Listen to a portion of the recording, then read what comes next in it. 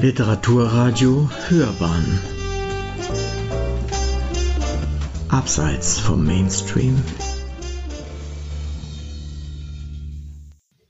Ursula Haas. Ich lese heute aus meiner letzten Veröffentlichung. Das ist ein Band, der heißt Zerzauste Tage, ein Jahr der Wirklichkeiten. Es ist ein Tagebuch und in dieser Zeit von Pfingsten 2018 bis Pfingsten 2019 habe ich mir selbst die Aufgabe gestellt, jeden Tag ein kleines Notat zu schreiben. Pfingstsonntag 2018. Hier steht ein Gedicht mit Boden, Decke, Flur, Tür, Wand, Dach, Balkon und Fensterscheibe. Hier steht ein Gedicht und sagt, ich bin ein Gedicht. Ich werde eins werden, ohne zu wissen, wie es aussieht, wie es sich anfühlt. Sicher ist, hier steht ein Gedicht und sagt, hier steht ein Gedicht. Heute Morgen hat es noch nicht gewusst, dass hier ein Gedicht steht. Im Garten sind Pfingstblüten aufgeplatzt, auf dem Tisch floss die Butter unter der Sonne hinweg, mein nackter Fuß. Die Ameisen en route. Hier steht ein Gedicht, unsichtbar, mit breitem Grinsen und wilden Locken. Keine Farben stehen in dem Gedicht, kein Mensch geht auf Reisen, kein Mensch singt, trinkt, wandert, jammert, kopuliert. Hier steht ein Gedicht ohne Musik, ohne Mondschein, Abendrot, ohne einen Laut. Hier steht ein Gedicht ohne Angst, ohne Ungeduld, ohne Zittern. Niemand fährt mit dem Auto über das Gedicht. Hier steht ein Gedicht, hier steht ein Gedicht und mag einfach nicht mehr weiter. Pfingstmontag. Bilder verschieben an der hellgrünen Wand meines Wohnzimmers. Bilder meiner Vaterliebe, meines Mutterzorns, meiner braven Kinderjahre. Ein Wand mit Gemälden erzählt mein Leben. Platzierung und Abstand zu mir. Heimliches Lachen zwischen uns. Verjährte Zeit. 25. Mai. Klage. Eines Morgens ist sie da, wie ein Wundmal, das vergessen, verschwiegen, missachtet vom Leben ist, getrennt von den Wurzeln meiner Zunge. Luftnot, tonlos. Barfuß gehe ich durch den Raum, blicke durch die Fenster, und unter mir wachsen weiße Heckenrosen um Füße, Beine, Körper und Kopf. Ich stehe im Schmerz der tötenden Blüten. Ich halte mich aus, bis ein Vogel gegen die Scheibe fliegt, abstürzt und mit sterbendem Blick dem meinen begegnet. 26. Mai Sonnenflecken. Aus den Blumen fällt der Staub. Roter Staub. Ich tauche ein und lasse mich los. Ein wunderbarer Maitag. 27. Mai. Der Körper geht unter der Haut verloren, nimmt die Trauer auf, die schmerzlich die Haarspitzen erreicht. Die Vögel antworten einander, und mir ist die Luft genommen, wie die Liebe, die nie mehr zu mir kommen wird. Am Strand die Fußspur unter mir. Die Wellen des Meeres kommen und schlagen zu, und ich bin nichts gewesen als dieser Moment Leben. O Poesie, warum bist du in mir geboren und klingst für mich immer wie Glück? ein einzelnes schwarzes Haar vor mir auf dem weißen Tisch. Es gleicht den verbogenen Weg, den ich gehe, herausgerissen. Aus meiner Schädeldecke, wo Salamander und Kröten blindschleichen nisten, sinnlos Getümmel der Fantasie. Im Garten wächst mein Schmerz mich zu, Atem verloren, Zorn bewegt gegen das Schicksal, Notschrei nach innen. Die Golden Ages lachen. Eine lila Rose im Kottotopf zeigt meine Not, Blut steht in meinen Beinen, ihr Schatten empfängt mein Schweigen und befriedet meine Stille. Ich ziehe das Stilett aus meiner Wunde und begleite mein Dahingehen mit einem Lächeln. 29. Mai. Blau liegt die Luft auf mir nach verkohlten Tagen. Ein Pfiff der Amsel, so laut und so süß. 30. Mai. Schau, wie ich laufe gegen die Liebe, die verloren mich einholt im Traum. 31. Mai. Bilder aus dem Süden. Es ist die Toskana. Und wo ist der Esel geblieben, der störrisch Geliebte? Kopfunter reite ich ihn durch das Mondfeld. Da braucht es keine Sonne, da braucht es die Erde unter uns. Und ich weiß, dass nichts bleibt von dir und mir, und doch das Nichtsein ist kein Nicht gewesen sein. Es ist unser Augenblick Glück. 1. Juni ich will lernen, waren Mutters letzte Worte, bevor sie starb. Vater träumte hinüber in den Tod. Sein Gesicht war schön und fern. Und als der Tod eingetreten war, füllte sich der Raum mit Mörikes Gedichten und die Engel Rilkes flogen durch die Luft. Ich legte mich auf dem Boden des Sterbezimmers und las dem Vater das Gedicht von der Birke vor, und eines von Hermann Löhns, das er so liebte. Wir wanderten durch die Heide, den Wald bei Maria Eck. Ich tat einen Steinpilz in den Korb. Als ein Schmetterling, das Pfauenauge wohl, sich auf meinen blonden Schopf setzte, hielten wir beide den Atem an. 2. Juni es soll ein guter Tag werden, sage ich heute zu mir und schaue mir im Badspiegel die Augen aus. 3. Juni. Ob Josef Bierbichlers autobiografischer Roman Mittelreich umgesetzt im Film auf der Leinwand oder ob Charlotte Bara und ihr Ausdrucktanz im Monte Verita in Ascona von mir intensiv recherchiert, mir endlich die Tür zum neuen Roman aufmacht? Nur wenn ich für ein Thema brenne, wenn ich für meine Fragen keine Lösung weiß, habe ich den Mut, ein Roman zu beginnen. Ich sitze jetzt auf der morgendlichen Terrasse in der Sonne und schaue mir die Biene an, wie sie sich in die blaue Akelei vertieft. Wenn ich meiner Tochter Bettina das Bild auf WhatsApp schicke, ist es für immer verschwunden.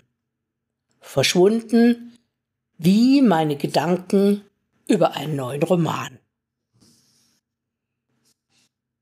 4. Juni der Film vom Ambacher Schauspieler und Autor Bierbichler Josef gestern im Sollner Kino angeschaut. Schmerzschwere eines Nachtfalters ist das ganze Werk. Russland 1944. Wir sehen auf der Leinwand Kinderaugen im Schlaf. In Stop and Go öffnet sich der einzelne Kinderblick. Der weiße Schlauch wird vom Auspuff in das Innere des Rotkreuzwagens geschoben. Der Wagen ist die fahrende Gaskammer. Der Wagen dreht seine Runde im Hof einmal, zweimal, dann kommt die nächste Einstellung. Ein totes Mädchen wird kopfüber in ein Eisloch geworfen.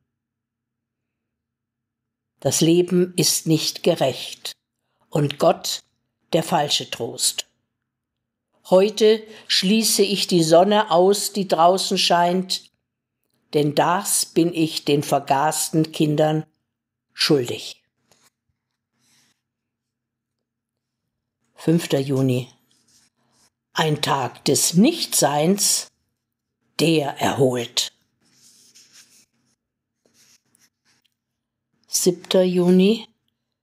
Träume ich mein Leben oder lebe ich mein Leben? Das ist mein Konflikt. Virginia Woolf schrieb ins Tagebuch, es gibt Zeiten des Nichtseins und Zeiten des Seins. Ich erfülle mein Leben, wenn meine Poesie sich aus dem Leben heraushebt, ohne Zwang. Ich warte nicht auf diesen Moment, auf dieses Loslassen von Leben, das sich in Sprache neu kristallisiert. 8. Juni. O du mein Freund, du geliebter, großer, oft lebst du in mir näher als in den Zeiten, in denen am Morgen das Telefon läutete und ich wusste, deine Stimme dringt in mein Ohr und deine Worte streicheln mich.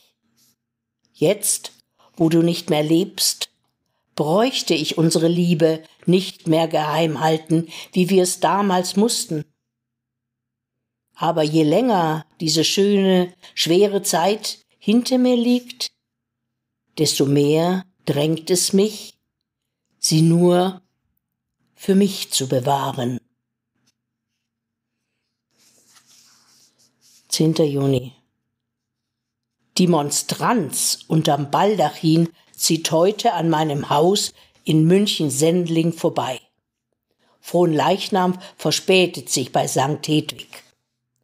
Eine Männerstimme singt laut und alte Frauen und Kinder antworten beherzt. Mit zehn Jahren in Düsseldorf-Flingern zogen Marianne und ich im Kommunionkleid im Fronleichnamszug hinten nach und kannten den Text der Lieder, die heute mir völlig verloren sind. Jetzt bin ich die Frau am Fenster, die zuschaut und was mich einst fast fiebrig und schwankend vor Hoffnung dem nachfolgen ließ, was mich erheben, ja was mich besonders auswählen sollte, lässt mich heute über mich lächeln. Ich liebte es damals in den Jahren nach dem Krieg, durch die Trümmerstraßen mit den Frauen der Heilsarmee singend durch die Düsseldorfer Altstadt zu ziehen. Und ihr beherztes Jubeln hatte ich auch bald drauf, ohne ein solches Hütchen aufziehen zu müssen. Diese Stadtgänge blieben mein Geheimnis. Ich war damals etwa acht Jahre alt. Ich lese aus dem ersten Roman, den ich geschrieben habe, und das war überhaupt mein zweites Buch erst, und es kam heraus 1986. Und äh, dieser Roman hatte für mich als Autorin und vielleicht wahrscheinlich auch als Mensch große Folgen, weil daraus auch meine Arbeit als Librettistin wuchs. Ich lese hier aus der Jugend der Medea eine kurze Stelle, und zwar die, wo sie ihre Tante, es war ihre Tante, die Zirze, trifft. Der Roman heißt Freispruch für Medea und erschien damals im Limes Verlag. Wärme lag in der Luft, die Klarheit des Windes und die Süße der Blüten füllten sie aus. Medea war im März unterwegs, um die Samen der Herbstzeitlose zu sammeln, die sie auf dem vom Vater geroteten Weinberg unter der Terrasse des Hauses einsetzen wollte. Als sie die Keimzellen vorsichtig mit den Fingern abknipste, wurde sie unterbrochen. In welcher Farbe blühen denn diese Blumen, Medea? Erschrocken von dem schrillen Klang einer Stimme, die auf sie herunterfiel, zog Medea ihren Kopf zwischen den Schultern und sah vor sich die Füße der Tante. Langsam richtete sie sich auf, da sie auf dem Hang etwas höher als Circe stand, schauten sie sich in die Augen. Meine Blume hat die Farbe von Augenringen im Schmerz und von Lippen, wenn du frierst, Circe. Sie haben die Farbe der Lieder von Ertrunkenen und immer die des leuchtendsten Fliederbusches. Circe sagte nichts darauf. Sie hatte Medea ein wenig ängstlich angesehen und begann nun mit weit zurückgelehnten Kopf befreit zu lachen. Ich dachte schon, du sammelst die Samen der weißen Blume. Übrigens, wie alt bist du jetzt eigentlich, Medea? Ich bin gerade 15 Zirke. Es scheint mir hier alles so einsam zu sein. Gibt es überhaupt Freunde für dich?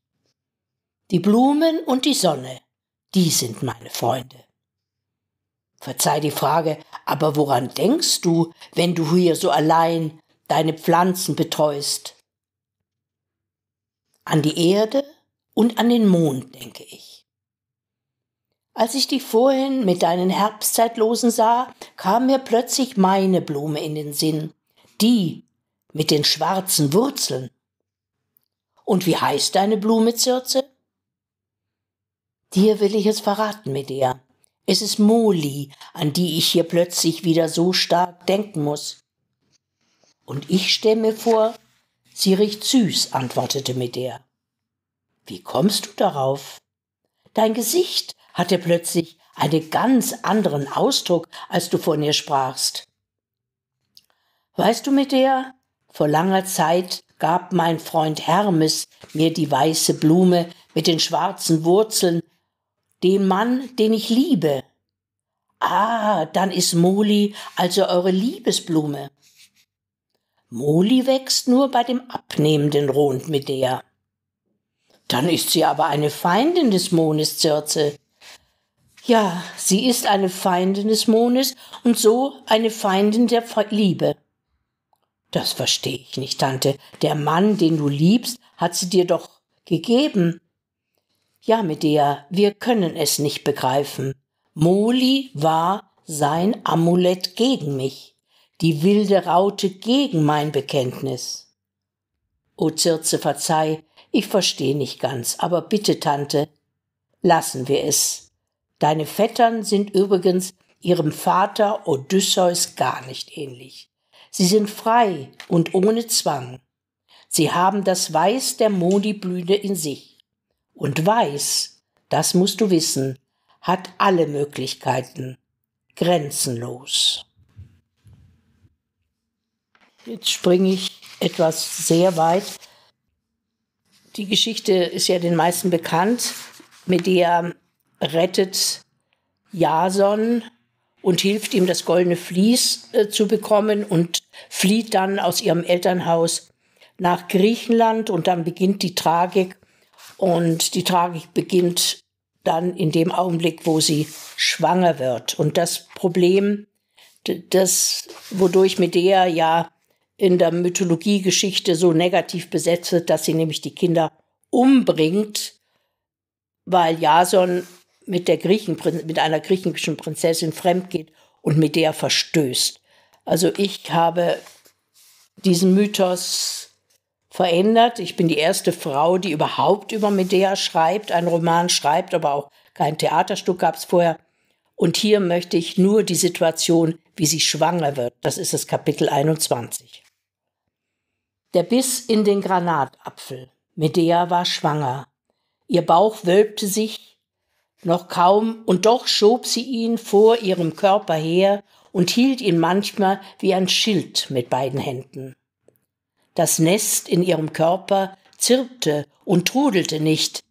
Wenn aber Viviane, ihre Amme, an ihm horchte, schlug beiden laut das Herz. Medea fühlte sich schwerer werden. Sie war ein Haus mit Gebälk, in dem sie das lebendige Glück spürte. Sie wich oft in diese Unschuld aus, ein verborgenes Zwischenreich, in dem sie sich selber empfinden konnte. Nebel schloss sie ein und machte sie so zart, wie als Äußeres sich vergröberte. Jason berührte sie nicht mehr in diesem Zustand. Er kam ihr jetzt manchmal wie ein Prisma vor, an dem sich ihre griechische Umwelt spiegelte und in verzerrten Bildern immer undeutlicher wurde. Sie stand in einem unbekannten Garten, in dem das frühere Leben an ihr vorüberglitt. Flüchtig selbst das Lächeln des Mannes zu ihr. Aber auch Viviane und die vertrauten Frauen im Serai wurde sie immer empfindsamer. Nichts flammte in ihr auf in dieser Zeit, nur sie selbst.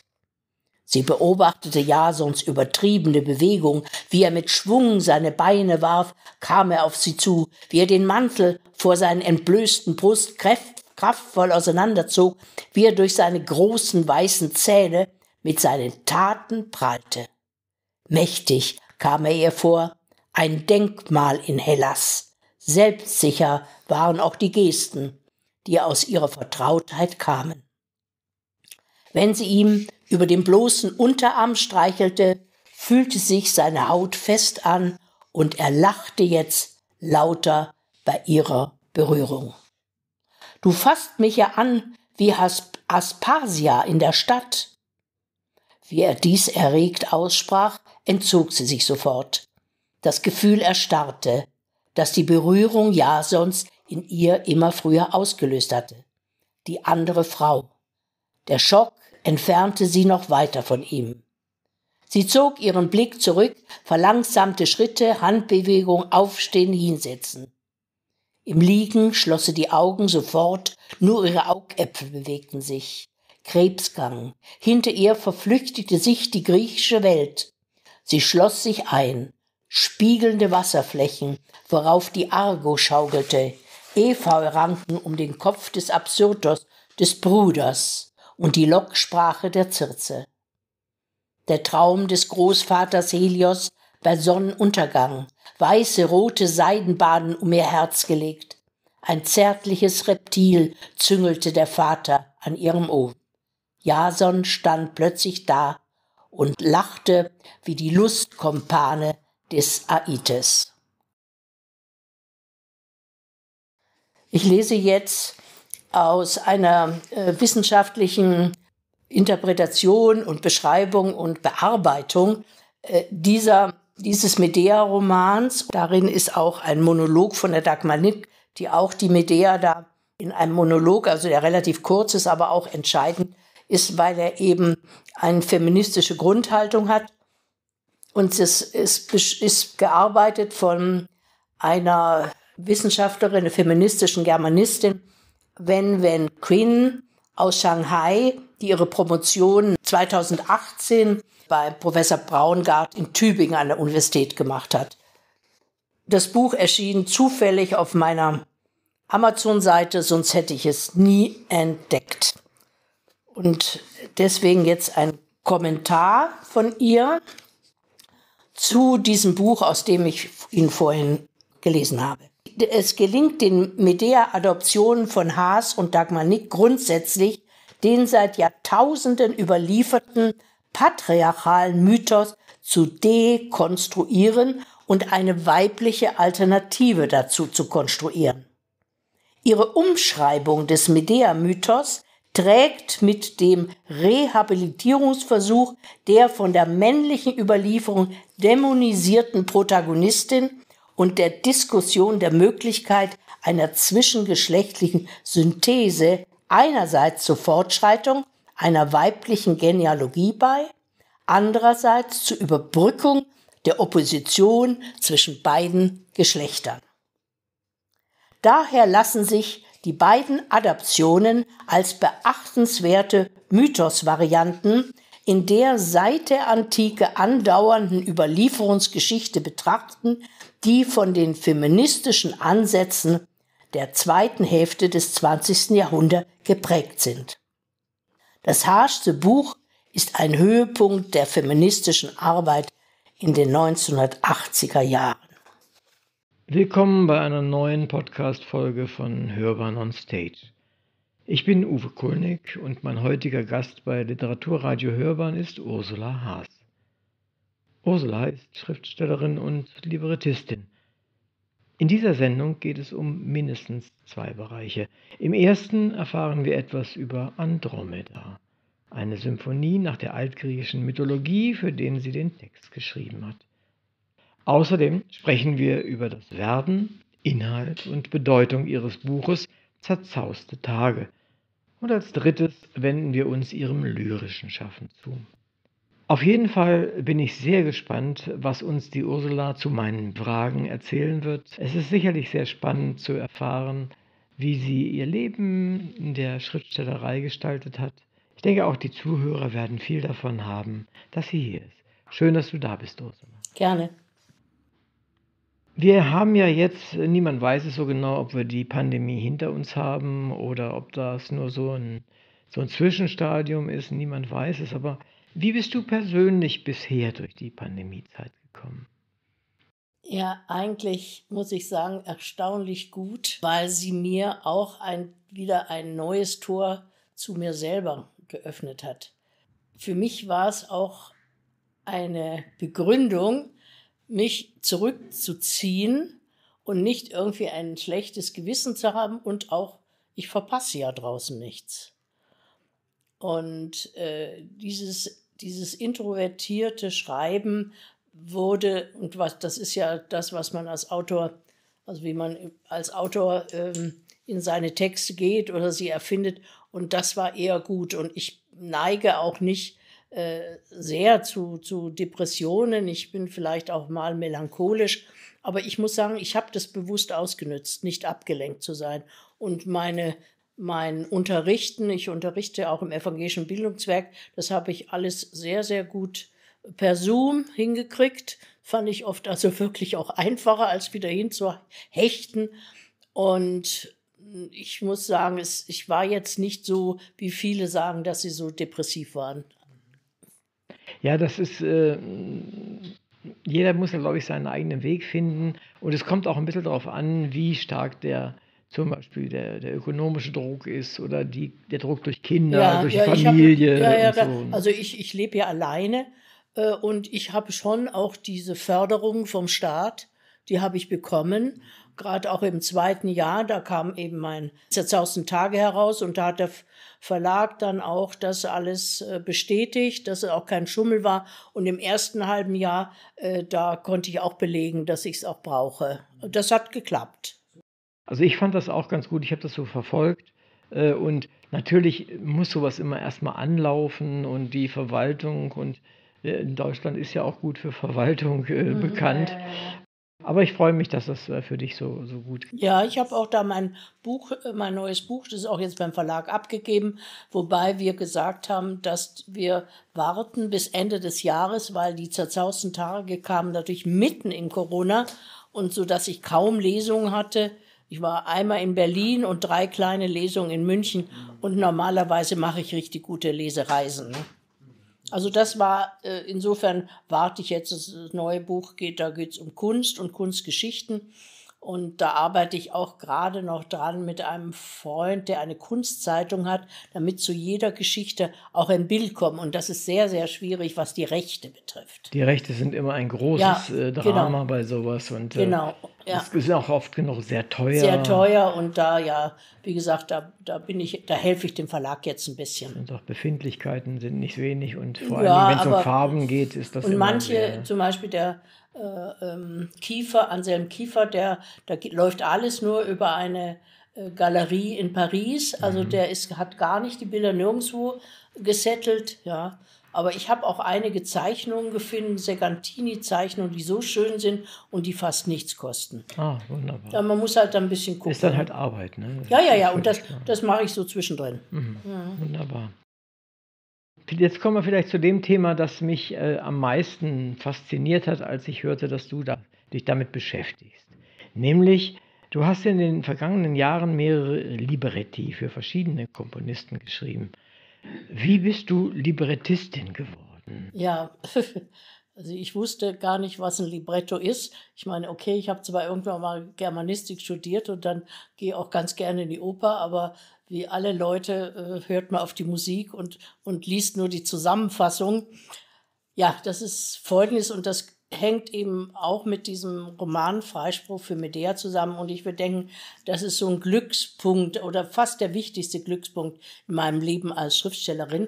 1986 ist das Buch herausgekommen und in dieser Zeit suchte der äh, bekannte oder auch berühmte Komponist und vor allen Dingen Intendant von Paris und Hamburg äh, suchte einen Text für ein Medea-Konzert. Äh, ich wusste von der ganzen Sache nichts, aber er war auf der Suche und hat von Grillparzer bis Ovid äh, rum und num gelesen und er kam wirklich auf mein Buch. Also es ist wirklich ein, ein Glücksmoment. Und er las dieses Buch und ich, ich kann mich noch erinnern, es kommt ein Brief aus Hamburg, hinten RL, keine Ahnung, kennt keinen Menschen in, in, in Hamburg. Und dann öffne ich es und dann fängt der Brief so an. Sehr geehrte Frau Haas, ich habe das Wochenende mit Ihnen verbracht. Und dann kommt eine, eine Eloge auf den Medea-Roman mit der Frage, würde der Verlag, also der Limes Verlag, mich freigeben und hätte ich Lust, für ihn ähm, ein Konzert zu schreiben, also ein, für eine große Kantate. Singen sollte den Medea-Text die Julia Varati, die Frau von Fischer-Dieskau und so weiter. Und ein großer Frauenchor hatte er geplant und ein großes Orchester, also so groß wie ein, wie ein ähm, ja, äh, Symphonieorchester. Ja, ja, genau, ein großes Symphonieorchester. Ich hatte keine Ahnung, ich habe gestaunt, der Verlag war begeistert und wir kamen in Kontakt und dann habe ich so drei Monate, habe ich gedacht, ja, wie mache ich das? Ich habe keine Ahnung, was ich machen soll. Nur, dass er mir gesagt hat, die Medea soll in poetischer Weise, in einer fließenden, schönen Sprache, so wie ich halt angeblich schreibe, äh, ihr Leben erzählen, äh, ihr Leben mit Jason erzählen, den Kindermord.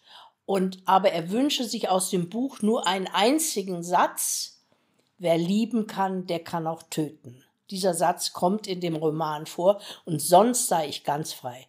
Also jetzt nicht abkupfern, das, was ich schon geschrieben habe, sondern wie mache ich das? Da hatte ich natürlich einen Vorteil, dass ich Lyrikerin bin. Ich bin in die Medea hineingeschlüpft. Das war ja nun sowieso schon Anteil von mir geworden. Ich habe vier Jahre an dem Buch gearbeitet. Da war ich ja drin, alle Quellen, alles hatte ich ja, Quellen hatte, habe ich ja mindestens zweieinhalb Jahre an den Quellen gesessen.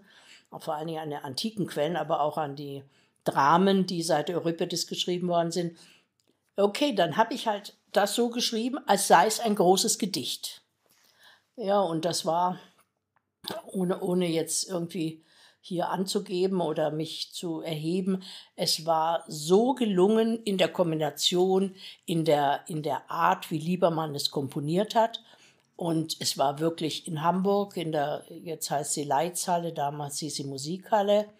89 kam die raus und das da waren wirklich alle Zeitungen nur geschwärmt, wie toll es war. Ja, also insofern, ich bin naiv da hineingegangen. Ich habe nur gedacht, wenn die Medea ihr Leben erzählt, dann erzähle ich es in der Haasschen poetischen Weise. Für mich ist im Augenblick noch, noch ein, ein riesen Missing Link da drin. Ja, aber das ist natürlich jetzt noch keine Oper. Wollte ich gerade sagen. Das kommt ja, der Schritt ah, kam ja dann. Das war ja nur für mich auch nur der Einstieg. Ah, das heißt, du hast, wie so, wenn du so willst, wie eine Art Ballade geschrieben. Ja. ja und äh, ja. jetzt, wie geht's weiter mit Ja, sowas? okay. Und dann war, das hing, hing natürlich von diesem Wahnsinnserfolg. Da kriegte Liebermann und ich anhängend äh, äh, kriegte ich von der Staatsoper Hamburg den Auftrag, eine Medea-Oper zu schreiben. Und ich erinnere mich noch, wie die Aufführung, es waren ja viel, inzwischen gibt es viele CDs und eigentlich ist es eine Starrolle jetzt geworden für Sopranistinnen, ja. Das ist also, das ist, ja, das ist also richtig. Naja, und dann kriegten wir, ja, jetzt dann kam der John Neumeier, den kennst du ja wahrscheinlich auch, den Tänzer die, die, die, in Hamburg, den berühmten, der kam, ich weiß noch, der stürzt auf uns zu. bei euch geht es zusammen wie bei Richard Strauss und Hofmannsthal. Das ist so symbiotisch, wie ihr zusammenarbeitet. Und das ist einfach, das ist wie ein Wunder, nicht?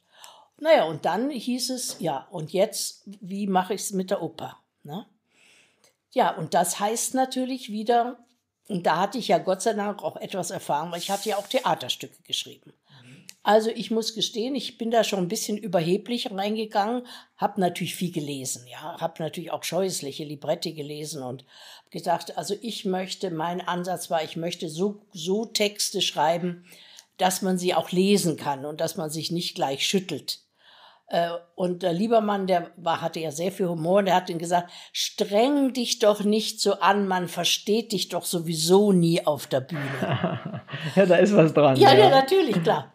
Aber ich habe gesagt, nein, ich habe den Ehrgeiz und dann äh, äh, waren es eigentlich, ähm, habe ich natürlich äh, schon nach der Chronologie des Buches, also Medeas Kindheit, Jugend, da am Schwarzen Meer in Kolchis, dann äh, was sie für, für ein äh, Jason getan hat und dann ihre Zeit in, äh, ihre Zeit in Griechenland und, äh, und natürlich auch dann die Abtreibung. Und dann hat der Liebermann, was viele auch machen, ich wusste das natürlich vorher auch nicht, er hat dann Teile von dem Monolog, ja, also von diesem ersten Stück, hat er dann in die, in die Oper mit reingezogen. Aber eigentlich habe ich es gebaut wie ein Theaterstück. Ja.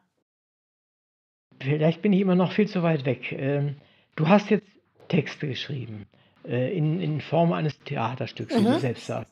So, jetzt hat er aber doch äh, eine äh, Musik komponiert. Der hat erstmal noch gar nichts. Ach, er der hat noch guckt, gar nichts. Der, das darf nicht also sein. Das ist eher umgekehrt. Ja, natürlich. Ich ja, bin, ich weiß ich, das ja, nicht. Ja. Nee, das ist ja, also im Grunde ist es so, äh, der Librettist bringt meistens den Stoff, er bringt die Struktur, er bringt auch das Tempo, denn ich, beim, es ist ja immer in der Oper so, äh, es ist Dialog, Dialog, Dialog und dann widersteht einer und singt um seine Befindlichkeit. Das nennt man Arie. Und das fällt mir ganz leicht durch die Poesie.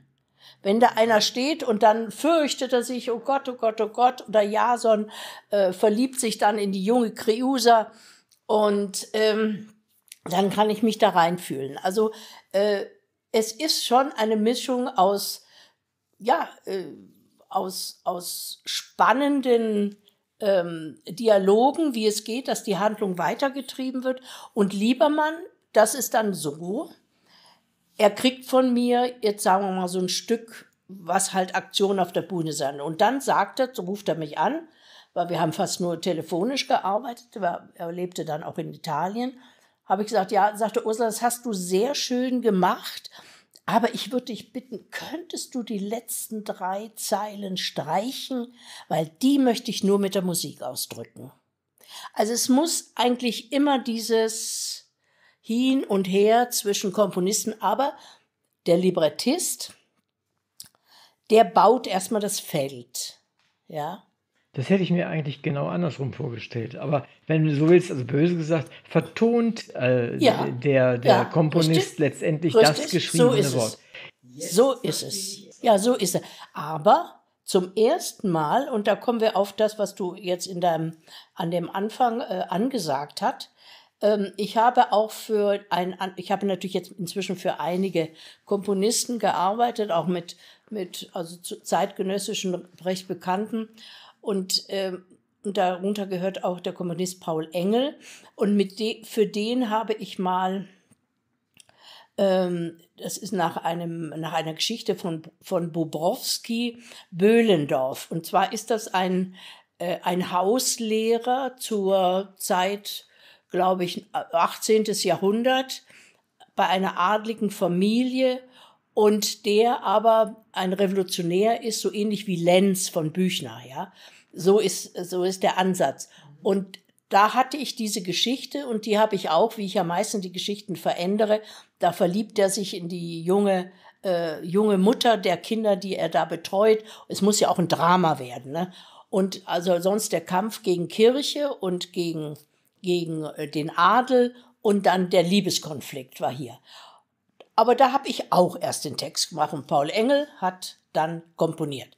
Aber ich, hatte jetzt zehn Jahre keinen Kontakt mehr zwischen Engel und mir. Der war auch weggezogen von München. Und der ruft mich eines Tages an und sagt, ja, Ursula, kannst du wieder für mich arbeiten? Ich habe schon äh, zu dem Thema Andromeda, ich bin so fasziniert von dieser Andromeda, ich habe außer den Namen und dass ich wusste, dass es ein Stern ist, keine Ahnung gehabt, habe ich gesagt, ja, du, wenn du schon die Musik hast, ja, wie soll denn das gehen, ne? Bitte versuch es. Äh, und so kam eigentlich vor einem Jahr zum ersten Mal äh, auf mich als Librettistin die Situation, dass ein Komponist sagte, ja, ich habe eine Symphonie mit so und so vielen Personen, Andromeda und dann die Nereiden, das sind ähm, so Wassermädchen, die unter Wasser da irgendwie schönes Leben führen und Poseidon. Und äh, das habe ich schon in meinem Kopf und so komponiert. Da habe ich gesagt, naja, da stehe ich aber jetzt da und dann musste ich natürlich erstmal gucken, wer diese Andromeda war. Äh, das ist eine, auch eine mythologische Frau, hinter der aber eigentlich eine, ein, ein Mutterproblem steckt, weil diese Cassiopeia, ihre Mutter, die tönt in die Welt hinaus und zu Poseidon und allen, äh, meine Tochter ist die schönste der Welt und ich bin genauso schön. Und also äh, sie ist also eine Angeberin und hat diesen, dieses, diese äh, griechische Sünde, die man Hybris nennt. Und da wird sie bestraft und sie lässt sie, äh, entzieht sich die Mutter, aber ihre Tochter Andromeda wird an einem Felsen bei Jaffa, also in Israel, wo die Jaffa-Orangen herkommen, da wird die hingenagelt, die arme Frau, und ein Ungeheuer kommt aus dem Wasser, Ketheus und die Wellen und so weiter und so fort. Also das arme Mädel hängt da und sie wird letztlich befreit dann von Perseus. Und Perseus hat ja eine, eine tolle mythologische Geschichte äh, und, äh, und das war natürlich, wo ich was ich sehr spannend fand. Bei Perseus mit der Vorgeschichte von Perseus.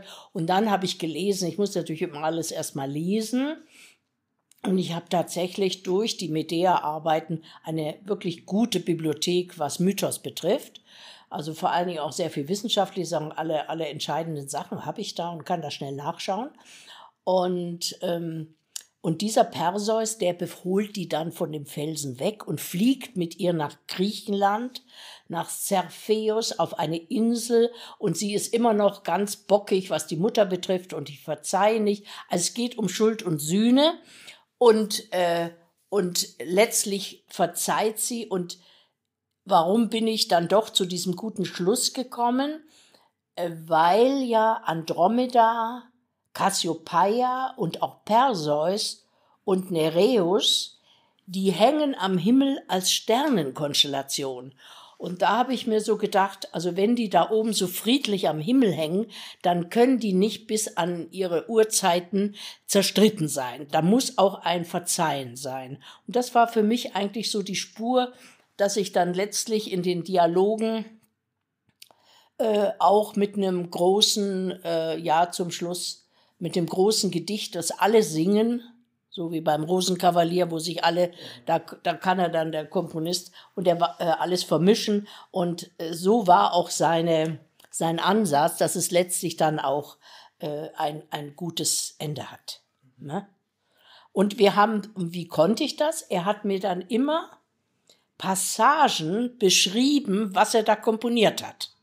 Beschrieben, und, also ja, nicht, nicht schon mal nee, gehört kann, am also Klavier kann, oder so nee, etwas? Äh, ich kann, ich kann inzwischen relativ gut Partituren lesen, aber ich kann so einer Stimme folgen, aber ich kann nicht die vielen ähm, Instrumente in meinem Kopf zusammenbringen. So weit bin ich einfach nicht. Und habe es ja auch nie studiert oder was.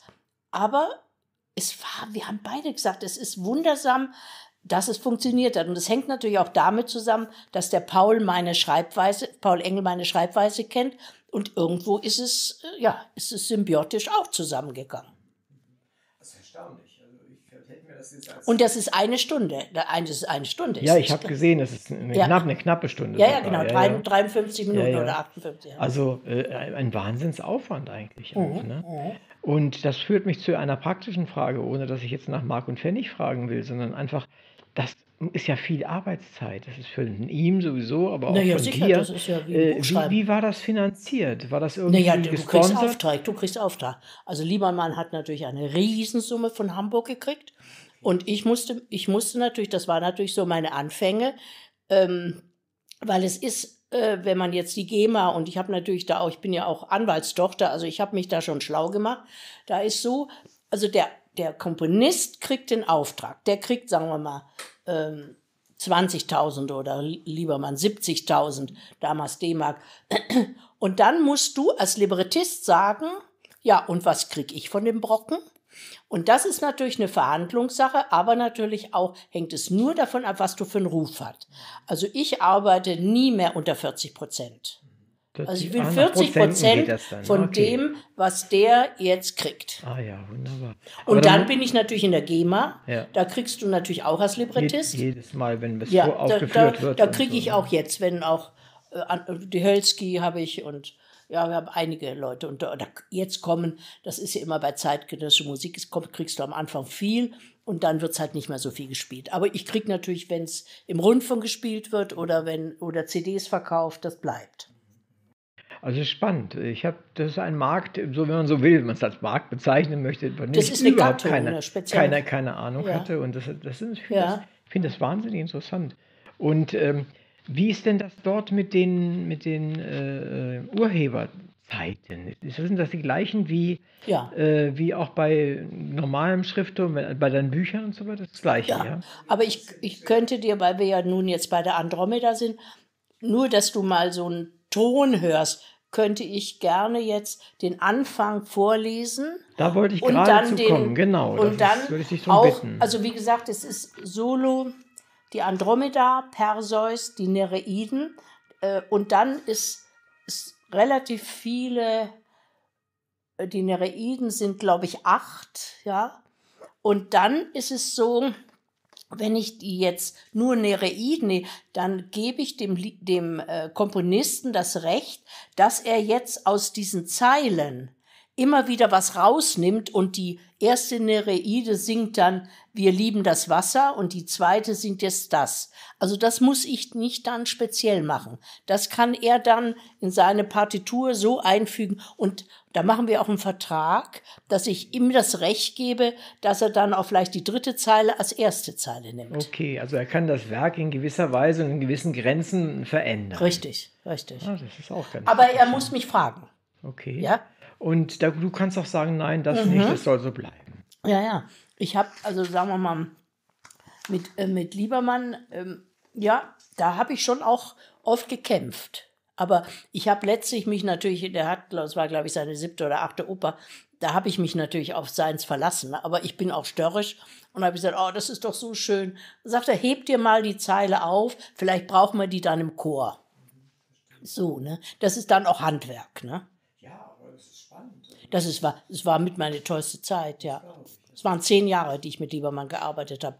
Und dann zwischendrin natürlich auch kleinere Sachen mit anderen. Auch zum Beispiel mit Adriane Hölzki. Das ist ja eine ganz hoch, die, hoch ja, qualifizierte, ganz moderne.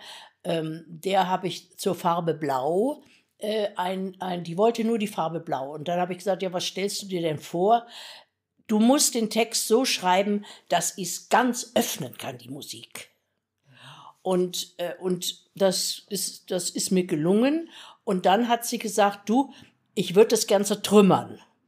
Und dann habe ich gesagt, du, ich, ich, ich schätze deine Musik und du bist eine, eine tolle Komponistin. Ja, ich gestatte dir das. Und dann hat die das zertrümmert und die, die Sängerin, die hat gegurrt wie eine Taube, hast kein Wort mehr verstanden, hat manchmal nur Buchstaben aus meinen Worten raus. Aber das, das wird immer noch verlegt und auch die CD läuft, ja. Mhm. Also das ist sowieso wahrscheinlich etwas, was, was, ich erst, was erst wachsen muss, das miteinander reden können, oder? Ja, ja, also ohne dass das geht, würde ich nicht machen. Ich habe heute mit, mit Paul Engel, weil er mir jetzt einen neuen Auftrag noch hat, und zwar über ähm, der ist auch sehr äh, spirituell interessiert.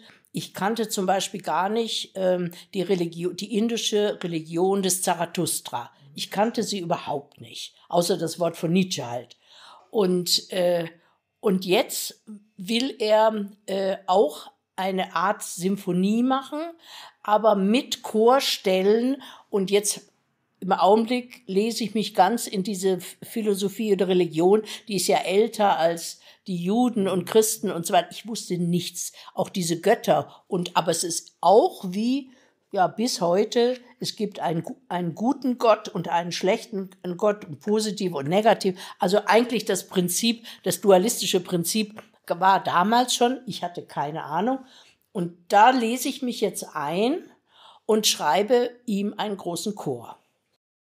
Also das ist, äh, das passt auch zu dem, was ich noch fragen wollte, nämlich wie kommt man zu Aufträgen?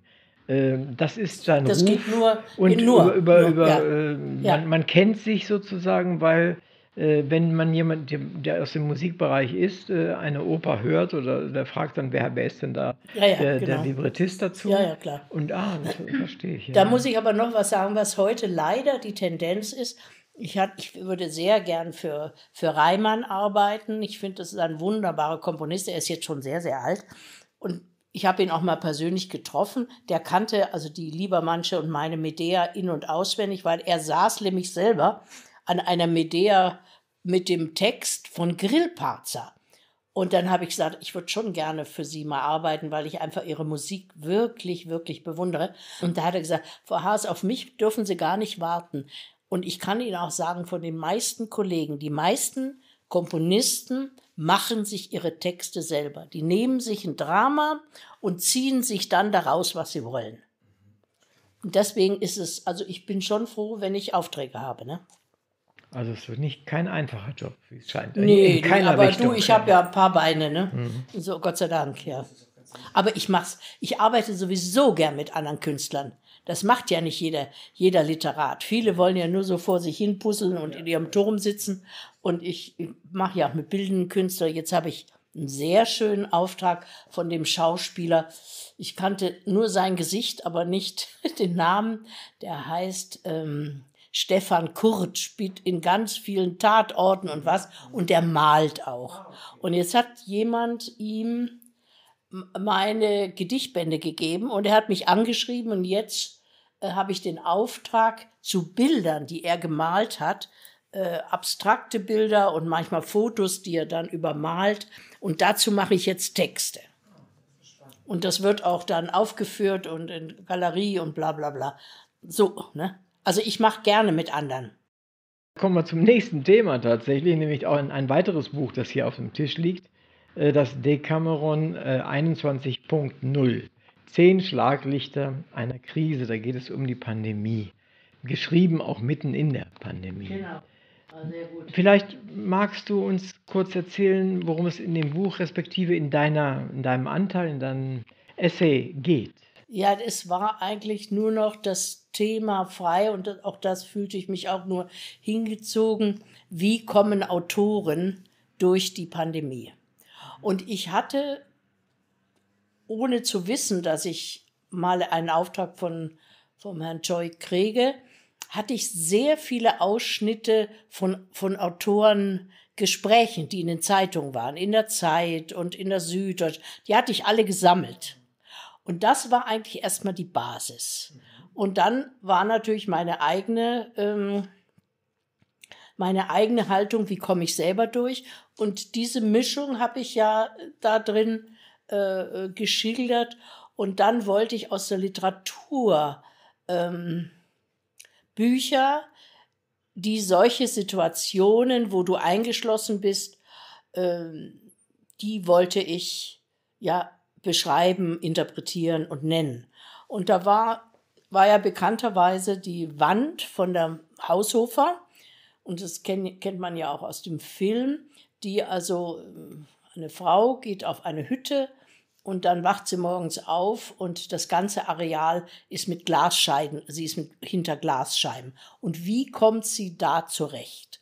Und das Resümee ist eigentlich das, wie kommt sie zurecht, indem sie sich in die Situation anpasst. Da ist zum Beispiel eine Kuh, erst ist sie verschreckt, ist eine Kuh, ja, dann geht sie hin und fängt an, die zu melken. Da hat sie auch was zu trinken. Dann ist ein Hund da, sie kann Hunde überhaupt nicht leiden, aber der umschnurrt sie dann und plötzlich hat sie einen Kompagnon. Und dann äh, liebe ich seit langem ein Buch von einem japanischen äh, Autor, der auch mal den, den Nobelpreis gekriegt hat. Das heißt, äh, Die Frau in den Dünen. Und das finde ich, ich weiß nicht, es hat mich schon vor, vor Jahren, das ist glaube ich, ich weiß nicht, wann das rausgekommen, vor Jahren fasziniert. Ein, ein Schmetterlingsfänger, ein Wissenschaftler, läuft rum und fängt Schmetterlinge. Irgendwann ist er in der Wüste, fängt Schmetterlinge und plumps fällt er in ein Sandloch, in ein Dünenloch und da unten trifft er auf eine Frau, die da unten lebt und die kann nur überleben, wenn sie jeden Tag den Sand nach oben schippt.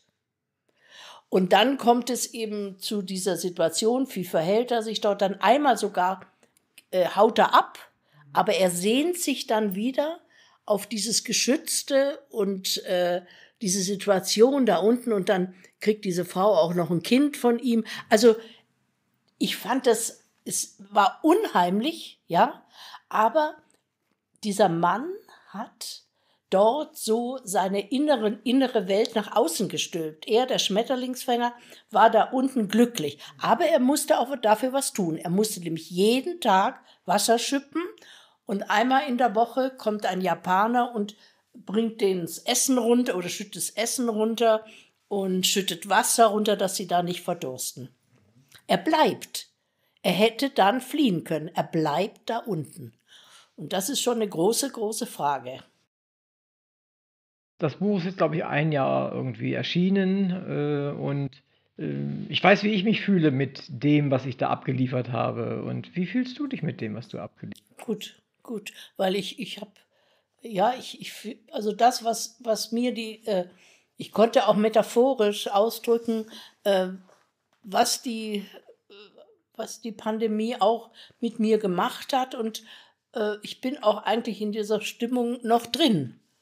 Also ich war da, also ich habe da jetzt nicht irgendwas aus den Fingern gesogen, sondern ich war sehr kreativ und äh, habe mich wohl dabei gefühlt. Das ist ja nicht immer so, wenn man so eine Auftragsarbeit hat, mhm. mehr oder weniger mhm. jedenfalls Auftragsarbeit. Ja, ja, nee, aber ich hatte ja auch, da, da lag ja noch mein Kunstbuch, da war ich ja noch gar nicht fertig, aber das war auch toll, weil ich konnte ja diese Gemälde, konnte ich mir im Internet herholen oder hatte selber die Kataloge oder habe mir dann auch, also ich bestelle nie bei Amazon ein Buch, aber gebrauchte Bücher sind einfach billiger und Kataloge sind schrecklich teuer. Also da habe ich mir viele Kataloge auch bestellt eben, ob es jetzt der Gantini war oder, ach ja, verschiedene. Es waren, sind 17 Künstler, die ich da beackert habe. Ne? Also es sind schon sehr, sehr verschiedene Dinge, die du tust. Und das mhm. finde ich also sehr beachtlich, tatsächlich. Kommen wir vielleicht zu dem Buch, was du, aus dem du auch schon gelesen hast, nämlich aus den zerzausten Tagen. Was hat es damit auf sich? Ich kann nicht mehr genau sagen. Ähm, das war eben 2018, dass ich irgendwie die Idee hatte, äh, dass das Leben so fliegt und jetzt im Älterwerden ich doch merke, äh, und auch weil ich eben doch sehr bei mir bin und ich, ich lebe ja auch alleine, äh, dass so Dinge immer so, man sagt neudeutsch, Flashback-mäßig hochsteigen. Und das fand ich irgendwie spannend und dann habe ich mal mich einfach von eben Pfingsten 18 drei Monate dran gesetzt, einfach gemacht. Und ich habe einen Kreis von Literaten, das, die, wir treffen uns ähm, beim Joanno Strasser und seiner Frau. Da sind Heidenreichs dabei, da ist die Morsbach dabei, ähm, da ist die, äh, die ähm, ach, wir sind zu 13 äh, Autoren, die mal da sind, mal nicht. Dann der Norman, dann, äh, also es, Männer und Frauen und jetzt auch der Josef Brustmann, der Kabarettist, ist auch dabei. Naja, und wir lesen dann Work in Progress. Ähm, ja. Und das, da, geht, da geht's richtig zur Sache. Also da, Peter Mausbach, haben wir dreimal Romananfänge die gehen nicht. Da musst du neu rein. Und die ist ja wirklich eine exzellente Prosaschreiberin. Und dann habe ich gedacht, also Kinder, ich will euch was lesen, aber ich bin so unsicher, das ein ganzes Jahr durchzuhalten, ob ich das ja auch psychisch schaffe. Ne? Ja, und dann habe ich da gelesen. Wir waren damals, da war ja, Anatole Renier gehört auch dazu, der Ah, war ja, auch der der Anatole. war, der war auch schon mal in einer meiner Ja, Sendungen. Ja, aha. Und äh, ja, und dann waren eben Heinreichs dabei und, und Strassers. Mehr waren da nicht. Ja, ich lese und lese und dann ist zu Ende und dann stehen sie alle da, sitzen sie alle da und starren mich an. Dachte ich, boah, richtig durchgefallen, ne? Ja, Ursula, was du dich da traust. Und der, und der, und der, der Anatol sagt, ja, aber dann erfahren die doch so viel von dir. Habe ich gesagt, ja, ist ja doch ein, ein Tagebuch soll es sein. Aber ich will halt nicht ausweiten, Thomas Mann mäßig, wer mich alles besucht hat oder was, äh, sondern ich will schon auf den Punkt bringen, was war an dem Tag. Und deswegen jeden Tag ein Notat. Und es war, es war, war hart. Es war wirklich hart. Und, äh, und dann war es natürlich auch, es geht ja auch so, hier habe ich mich zum Beispiel zum ersten Mal geoutet, was Rolf Liebermann betrifft. Ich habe natürlich nie gesagt, dass wir auch eine Liebesbeziehung hatten. Aber jetzt ist seine Frau tot, er ist lange tot. Also, aber ich habe es so diskret, du hast ja die eine Stelle jetzt auch schon gelesen. Und, ähm, und auch was meine Kinder betrifft, da, denen habe ich es vorgelesen. Und auch die Stellen über meinen Mann, weil das war sehr schwierig. Mein Mann war dann sehr ähm, vom Alkohol abhängig und war sehr aggressiv dann geworden, wie man das ja von kennt. Aber wie gesagt, ich kam aus der, ich kam da nicht raus und äh, ich wollte es schreiben, aber ich wollte es diskret schreiben. Also das ist natürlich schon sehr mutig. Hast du hinterher die Texte, so wie du sie geschrieben hast, tatsächlich veröffentlicht oder musstest du was oder hast du was rausgenommen? Nee, rausgenommen habe ich gar nicht. Ich habe äh, mit, eigentlich mit meinen Kindern diese Stellen haben wir richtig abgeklopft, aber ich hatte ja schon vor im Jahre 2004 ist ja das drei Frauen Buch äh, herausgekommen. Das ist ja sind drei Stränge und der eine Strang ist meine Autobiografie und äh, da habe ich ja viel mehr anekdotisch, was da war und wie, wie halt äh, ich in der Beziehung eigentlich vom Schreiben abgehalten werden sollte und auch ganz schlimme Sachen. Und das brauchte ich ja nicht. Hier waren es ja, und ich bin ja versöhnt mit meinem Mann im Innern, und da waren es eben auch nur diese Flashbacks. Ne? Das ist ja nicht mehr, dass man, wenn man was bearbeitet hat, wisse das ja nicht dein Leid nochmal so auswalken. Das ist, das wäre auch nicht mein Wesen. Und äh, na, ich, äh, obwohl es eben leider zu wenig äh, Lesungen waren, aber ich habe von manchen Menschen ganz lange Briefe gekriegt, weil sie selber inspiriert wurden dadurch. Glaube ich wohl. Das macht immer viel mit den Zuhörern, so etwas. Weil sie denken ihr eigenes Leben ja mit. Genau. Und die sagen, boah, wenn die so, das, das sich so traut und so. Und bei mir war das. Und es ist natürlich auch ein sehr poetisches Buch. Es geht sehr viel um Schreiben. Auch ähm, wie ich in äh, Anfang 2000, ähm, also das dann 19 Januar, bin ich mit meiner römischen Freundin, meinen Freunden aus Rom, waren wir äh, privat auf Kuba. Und, äh, und die Vorbereitung mit Kuba habe ich eigentlich über das Drei-Frauen-Buch vor allen Dingen gemacht, meine, meine Einstimmung, weil diese Tina Modotti, die Fotografin, die aus äh, Udine stammt äh, und dann aber in Mexiko gelebt hat und mit einem, einem kubanischen Revolutionär eine große Liebe hatte und dann die Identität dieses Mannes angenommen hat und dann bei der Roten Hilfe wirklich gekämpft hat. Die hat dann ihr Fotografien aufgegeben, also auch eine ganz spannende Frauengeschichte. Und da habe ich mich über die Tina Modotti und über den Julio Antonio Meya, so heißt er, also Mella geschrieben, Meya, so habe ich mich eigentlich in die Kuba-Stimmung gebracht. Ne? Also es ist ja auch alles sehr spannend, muss ich sagen. Das letzte Thema, was wir auch angekündigt hatten und äh, was auch noch ganz spannend ist, äh, ist Lyrik. Du hast ja, du sagst ja, du, bist für Lyrik, du magst Lyrik leben, ist ein wichtiger Teil deines Lebens. Wie äußert sich diese Lyrik bei dir? Was macht die mit dir? Ich habe erst mit 40 bin ich in die Welt gegangen mit, ja, also aus dieser Lebenskrise heraus oder Ehekrise kam, das klingt jetzt sehr romantisch, aber es war einfach so, kam über Nacht die Poesie.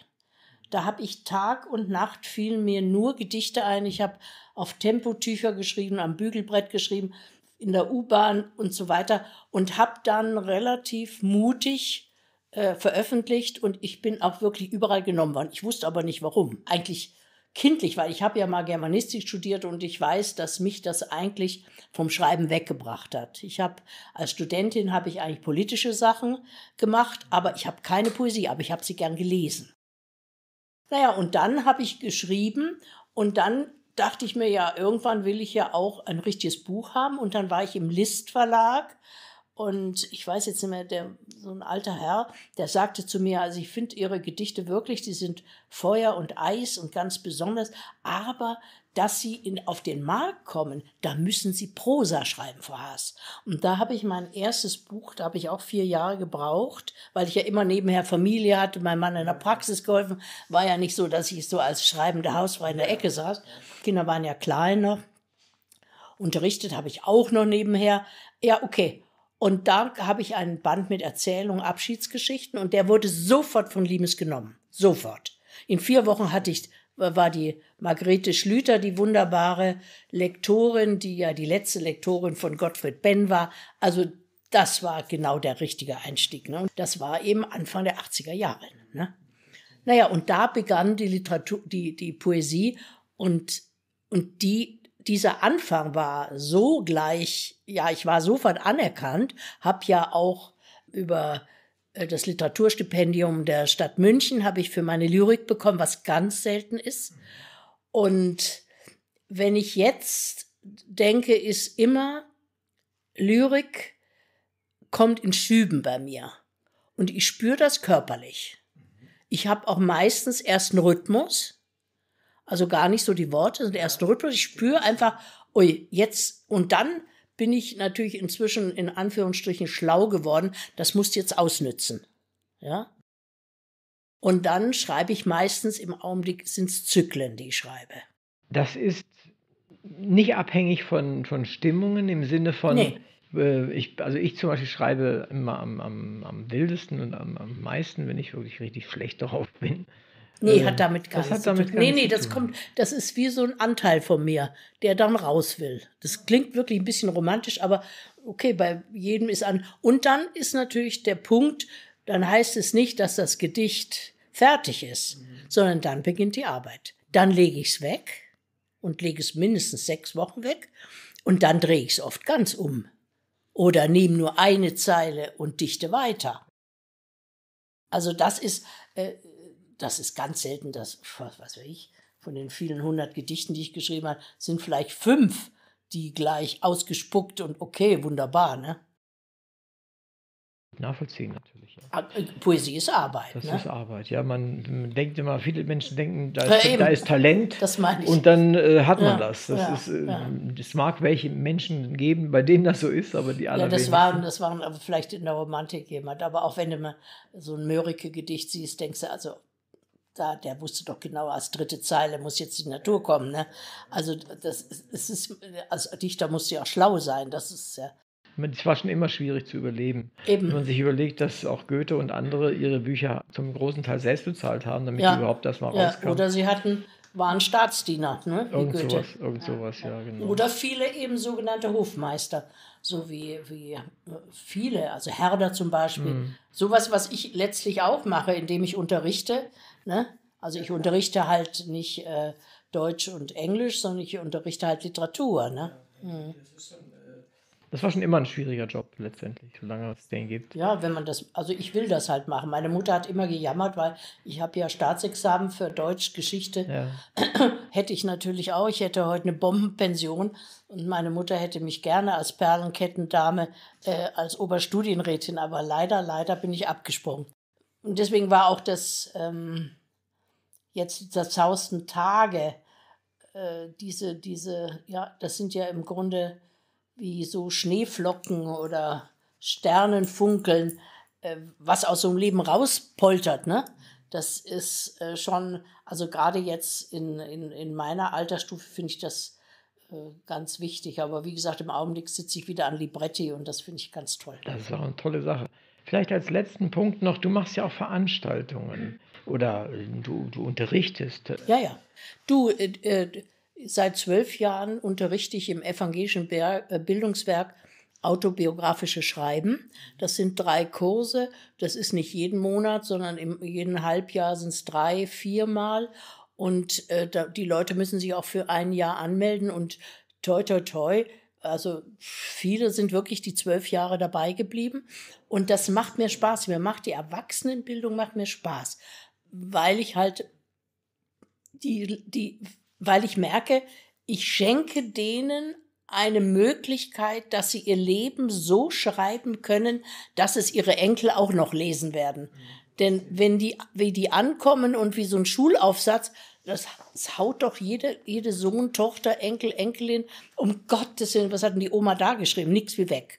Ja, es ist ja auch nicht, nicht verwunderlich. Ja, natürlich. Ja, und da habe ich inzwischen wirklich zwei Bücher schon mit denen gemacht. Jetzt kommt ein neues heraus. Das letzte hat sogar der Alitera Verlag gemacht. Isa Schönheiten. Das da, habe ich vom Titel her gesehen, ja, ja genau. genau. Und das ist so, sogar gelaufen, das Buch. Naja, und dann habe ich gedacht, die einzige Möglichkeit, die machen ja nur äh, bayerische Sachen, ne? Und da habe ich dann aus zehn Jahren die besten bayerischen Geschichte von meinen Teilnehmern, das sind also im Ganzen ungefähr 50 Menschen, rausgesucht und daraus hat der Litterat dann Verlag ein Buch gemacht. Schön. Das ist, aber das ist doch toll, oder? Ja, ja. Also ich, ich Herausgeberin ist auch nicht schlecht. Ich ja. finde nee, nee, ich find sowas toll, ja. Nee, also ich muss sagen, ich bin ja damals, nach der Referendarzeit und dem letzten Examen, habe ich gedacht, nix wie weg von diesen frechen Teenagern und immer dasselbe, jedes Jahr Karl der Große und nochmal und nochmal. Nee. Und, und deswegen habe ich ja am Anfang, habe ich nur meinen Mann unterstützt, wie er seine Habilitation schreiben wollte, die er nie fertig gemacht hat. Und dann habe ich gedacht, so, und jetzt Erwachsene. Und meine ersten Erwachsenen, das ist, ist so schrill, da habe ich inseriert, ähm, ich würde ganzheitlich Menschen fördern, also bekloppt. Und da kam von einem Siemens-Direktor eine junge Frau, die stammte aus dem Schwarzwald, ähm, aus einem Gasthaus. Und sie war ungebildet, aber bildhübsch. Und dann habe ich die trainiert, dass die, wenn dann die, äh, äh, die Gäste bei denen waren, habe ich mit der Konversation geübt. Ich bin mit ihr in Museen gegangen. Ich habe mit ihr Klamotten eingekauft und habe so ein ganzheitlich. Und dann wurde sie schwanger und dann habe ich gesagt, so, jetzt lasse ich sie wieder gehen. Toll. Eine tolle Geschichte. Das ist ja auch ist fast ein kleines Buch. Ja, ja, ja, nette ja. Geschichte. Nee, das ist in Ordnung. Damit haben wir eigentlich schon die letzten drei Fragen, die ich noch hatte, ähm, fast erledigt. Vielleicht noch eins, was ich beziehe mal auf diese zerzauste Tage. Äh, wer sollte dieses Buch lesen? Ja, weil es natürlich vom Ansatz her narzisstisch ist und ich doch nicht so bekannt bin wie Tagebücher, ja, Thomas Mann etc. oder Walser aber ich glaube schon, da es nicht sich so an Tagesaktualitäten festmacht, habe ich die Hoffnung, mehr kann man ja als Autor nicht haben, habe ich die Hoffnung, dass es den Leser inspiriert für was eigenes. Also ich denke, ich bin eigentlich nur so ein Spiegel. Und das kriege ich ja auch. Also wer es liest, die, die staunen selber, was dieses kleine Buch für Türen in dem Leser aufmacht. Liebe Hörerinnen und Hörer, danke, dass Sie uns wieder zugehört haben. In dieser Folge von Hörbahn on Stage war Ursula Haas bei uns zu Gast. Es ging um das Buch Zerzauste Tage und Andromeda, zu dem wir jetzt kaum gekommen sind. Ihre Arbeit als Librettistin und als Schriftstellerin in der Zeit der Pandemie. Wir haben interessante Details aus der Welt der Libretto erfahren, wie die Corona-Einschränkungen in das Kulturleben und die Kulturentwicklung eingegriffen hat und wie Ursula Haas und sicher auch viele ihrer Kollegen damit umgegangen sind. Ich bin Uwe Kulnig und mein Gast in dieser Sendung des Literaturradio Hörbahn war die Schriftstellerin, Lyrikerin und Librettistin Ursula Haas aus München. Vielen Dank, Ursula, dass du zu uns gekommen bist, wir viel über dich erfuhren und ich dieses Gespräch mit dir führen durfte, auch im Namen unserer ZuhörerInnen. Herzlichen Dank. Ich danke dir auch, Uwe.